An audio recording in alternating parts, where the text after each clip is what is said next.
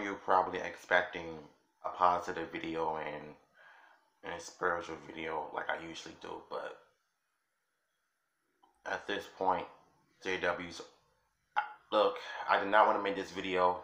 I thought I was done with the politics and all that, but for some reason, they find a way to want to piss you off unless you read the whole article. I didn't expect Hasbro to, or the director, to go this low of gender swapping the male Rangers. And I'm hearing something about them gender swapping the Red Ranger. I hope and pray that this is not true. Because if it is true, I am going to let loose on YouTube and let you know my frustrations on Hollywood and politics and they're too busy gender swapping the male roles. When is this crap going to end? I was really on board with the reboot, but it just seems like they they rather just slap us in the face.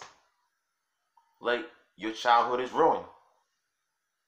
Bad enough that the 2017 movie was garbage. And now you're doing this. I don't want them to go all woke. Do not, and I repeat, do not go all female rangers.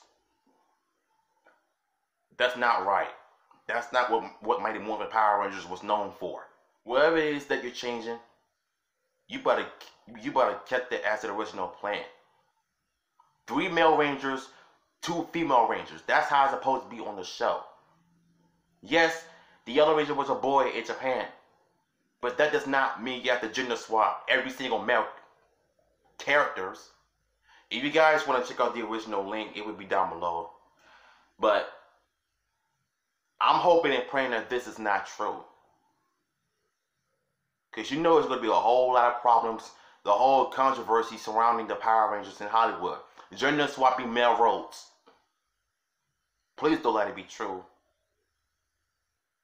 Because you're really starting to crush me, Hasbro and Paramount. Don't piss off the fan base.